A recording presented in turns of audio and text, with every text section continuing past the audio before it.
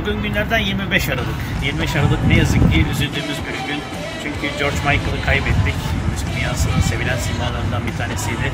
Şimdi onu en sevilen şarkılarından bir tanesiyle anacağız. Hatta eski grubu Wham'le analım. 1986 yılında gidiyoruz.